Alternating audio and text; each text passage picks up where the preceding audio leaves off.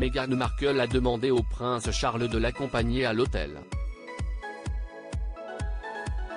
Alors que son père, Thomas Markle aurait dû occuper ce rôle, il cesse de désister à quelques jours du mariage. La future duchesse aurait pu demander à sa mère.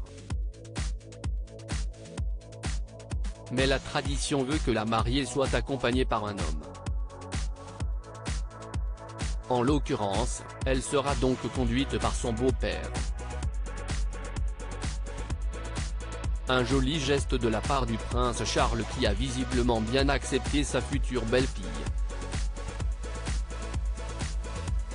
Le prince Charles est ravi d'accueillir Meghan Markle dans sa famille de cette manière.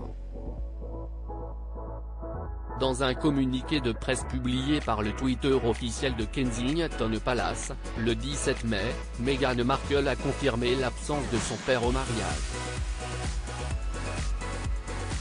Thomas Markle a été opéré ce mercredi du cœur et ne pourra donc se rendre à la grande cérémonie qui verra sa fille épouser le prince Harry. Dans son message, la future femme du prince Harry n'a pas caché son regret de ne pas pouvoir compter son père parmi les invités, « J'ai toujours pris soin de mon père et j'espère qu'il bénéficiera de l'espace dont il a besoin pour se concentrer sur sa santé ».